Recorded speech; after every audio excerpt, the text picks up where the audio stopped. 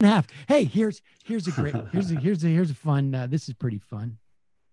Here is um. Here's uh, uh this is this is fun stuff.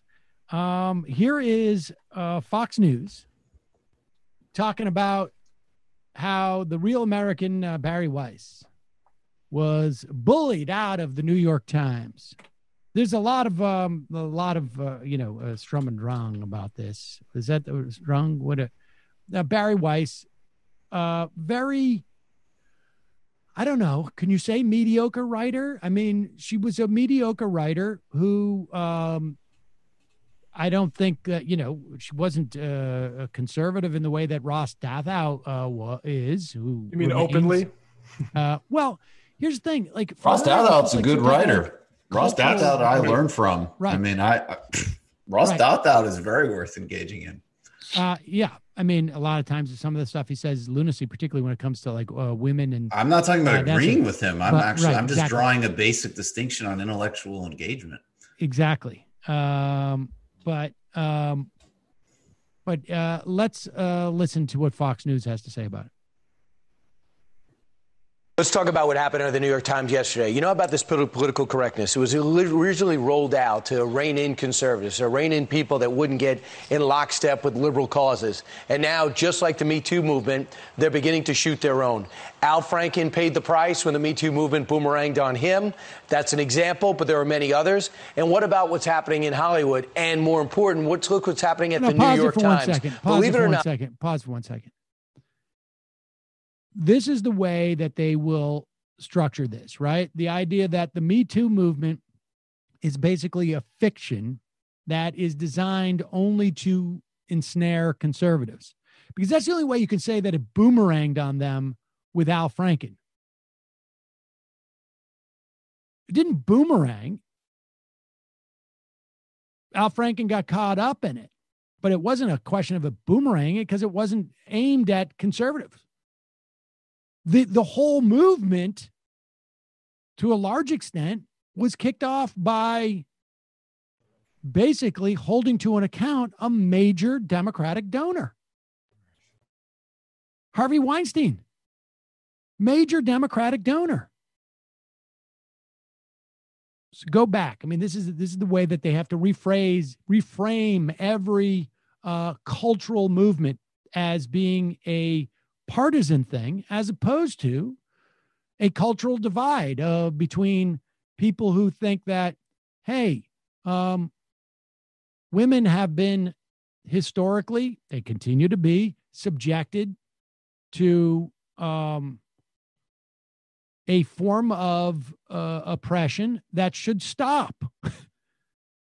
and for them, it's just about partisan politics. But go ahead conservatives, to rein in people that wouldn't get in lockstep with liberal causes. And now, just like the Me Too movement, they're beginning to shoot their own.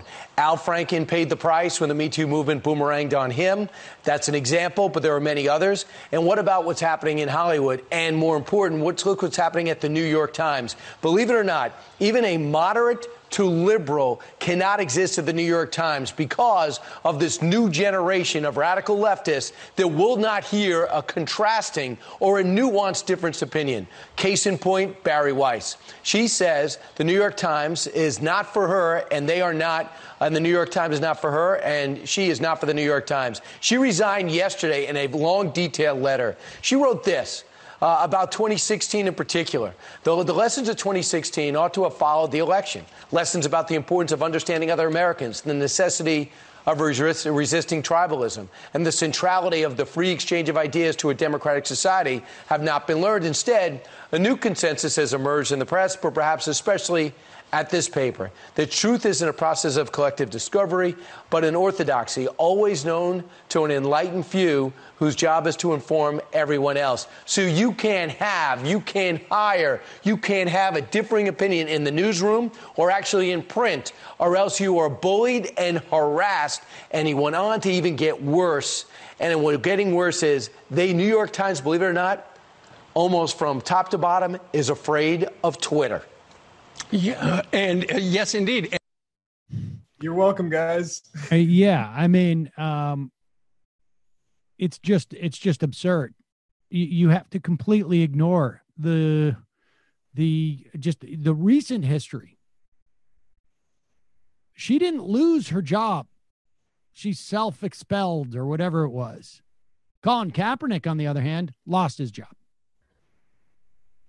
And I just want to say, like, even I'm somebody that I'm like, I'm on the Taibbi side of a lot of these arguments, but I just think it's like particularly extraordinary with her that she doesn't even feel a, a need to say, as part of this self dramatization, I've rethought trying to get professors fired for speaking about the Middle East. I mean, this is the original example of this stuff, actually. Yeah. That's people so- lost jobs. People, uh, Norman uh, Finkelstein was economically terrorized, which I I don't believe in. Period. I mean, this guy, like, serious. I mean, you could read profiles of him that is basically like, you know, there's a little bit of work, um, lost the teaching job I was great at, and you know, basically inherited like a modest house and was able to cobble together a few things, which is why he was able to subsist. And that was all simply for saying like literal realities about Israel. So, you know, I, yeah, I mean, I, I find the, that she doesn't even feel like, let me at least ask cover with that is just well, and part of it was also a a, a function of of of her inability to concede uh, anything. Like you know, right? They they they cited, um, you know, remember when she there was some uh, uh, skater, figure skater, and uh, whose last name I think was she had a last uh, a Japanese last name, and she uh, won something. I can't remember what the details are. I remember when it happened in time, and she tweeted out you know, an amazing, she landed a triple axel, you know, whatever it is. Uh, immigrants are getting it done or something like that. And it was a, it's a quote, or maybe she misquoted uh, Hamilton. And people pointed out, um, she should have been she's not an immigrant. she's not an immigrant. She just has a Japanese sounding last name. She's not an immigrant. Right. And instead of saying, my bad, that was a wrong assumption for me to have she said, I, I know that. I was just making uh, an, a point or something. And it's like, okay, when you're complaining about the flexibility of people's right. minds, that's right. The ability to be open and have a, a nuanced conversation.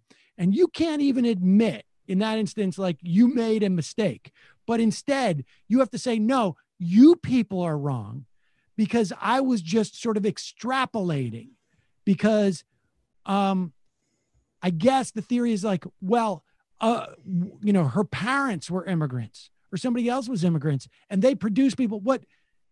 That's absurd because you would have to say that with every single person short of Native Americans right. who achieve anything. And you would never do that. Right. And so it was basically just like your instinct is I assume that they're not American. Okay, fine. Live and learn. Stop making that assumption. Stop being so intellectually lazy. Be a little more conscious of what you're tweeting out. But instead, what you do is you use your authority as a New York Times columnist as a way of saying, no, you're wrong. And she didn't like the fact that people mocked her on their internal Slack over it. And it's like, you know what? I mean, these people don't walk the walk. Right. They right. they deploy the talk when it suits them. And I think the only- walk is really important. And, I, and that's what I'm, you know, across the board gonna gonna defend. But I agree with you completely. And a major reason that some really important things across the board have been have been so undermined is because of the blindness and cynicism of somebody like Bari Weiss. Absolutely. Um,